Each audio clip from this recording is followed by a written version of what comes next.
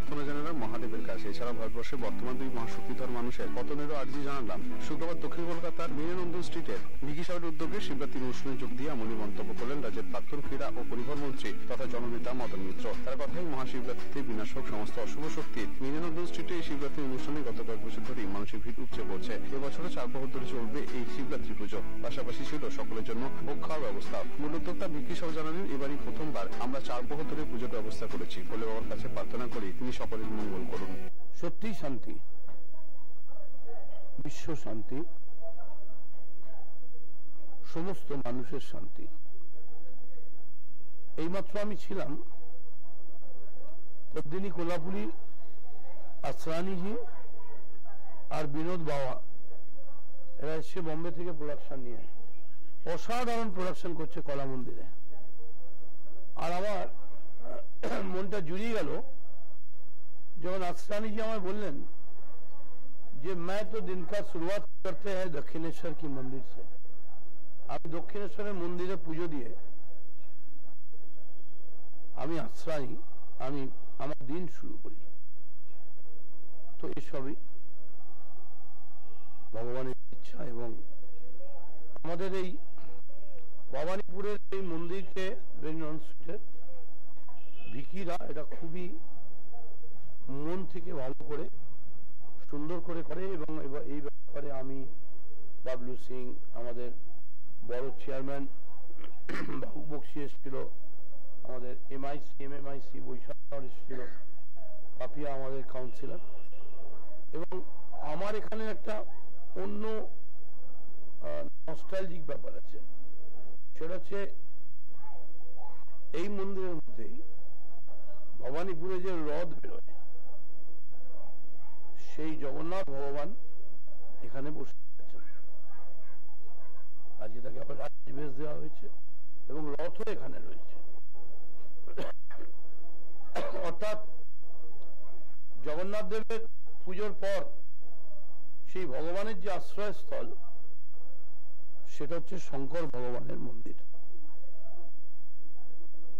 আর পুজো, প্রণাম, আরতি, সবকিছুই তো আরতি শান্তির জন্য। এবং আমি নিজে মনে করছি যে খুব বড় আকারে ভারতবর্ষের পশ্চিমবঙ্গের মন্দিরে, মসজিদে গুরুদ্বারায় সব জায়গায় পূজা, প্রার্থনা, দোয়া শুরু হয়ে যাওয়া উচিত। তার কারণ একটা শান্তির ভারতবর্ষ, একটা প্রেমের ভারতবর্ষ, একটা বিশ্বাসের ভারতবর্ষকে, একটা অবিশ্বাস, অশান্তি আর অপবিত্র করছে দুটো লোক। এদের বিরুদ্ধে রুখে দাঁড়ানো। সময় হয়েছে এবং বাংলায়, বাংলার মুখ্যমন্ত্রী মমতা বন্দ্যোপাধ্যায়, একাধারে যেমন মন্দির, মসজিদ গুরুদ্বারা আমরা প্রতি বছরই পুজো করি, এটা ঠিক। এই বছর একটা বিশেষ ধরনের পুজো হচ্ছে। চার প্রহরে ফার্স্ট টাইম আমাদের মন্দিরে, চার প্রহরে শিবরাত্রি হচ্ছে। আর মহারুদ্র অভিষেক হচ্ছে।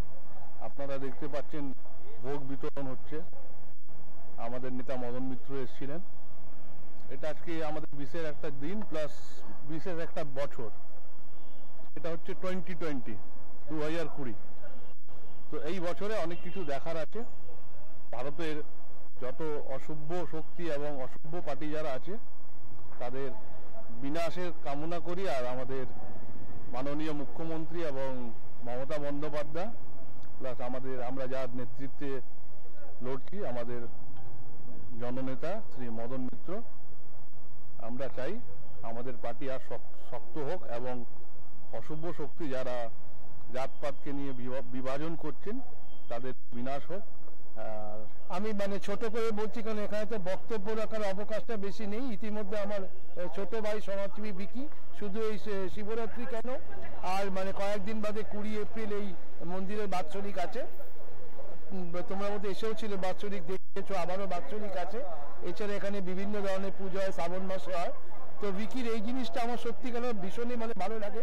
এই যে মন্দির প্রথমে ছিল খুব ছোট, সেই মন্দিরকেও ছোট থেকে একটা স্বপ্ন ছিল কি এটা একটা বড় রূপ দেবে, সেই মতো পুরো মন্দিরকে মানে একদম ভেঙে নতুন করে করে এত বড় মন্দির করে শুধু পাড়ার লোককে না, বিভিন্ন জায়গা থেকে মানুষ আসে এখানে পুজো দেয়।